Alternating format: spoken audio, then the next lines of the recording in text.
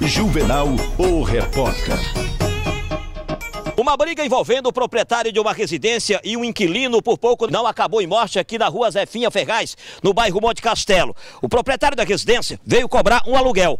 E o rapaz que estava morando aqui, que segundo a polícia é usuário de drogas, não gostou, entraram em luta corporal. O rapaz aqui que veio cobrar o aluguel foi agredido, né, atingindo inclusive com panos de facão, a golpes de facão. Você veio falar do aluguel ou pedir a casa e ele não gostou. Não disso, não entregaria a Aí casa. acabou atirando fogo da casa quando você saiu para procurar a polícia. Eu vou, antes não, ele primeiro que a gente saiu nos tapas, saiu na briga. E resumindo, ele pegou os dois facão, aí ele deu uma lapada, eu segurei de um lado, segurei do Cadê o facão?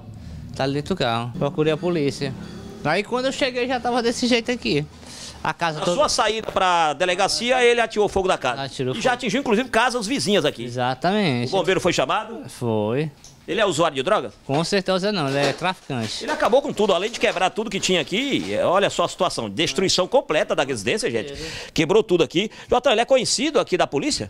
É, é um menor, já tem causado alguns problemas, inclusive roubos aqui na região. Na verdade, aqui já é um local que, por algumas vezes, a, a sociedade já fez denúncias. O Corpo de Bombeiro teve agora há pouco aqui, teve que arrombar as casas vizinhas para poder conter esse incêndio.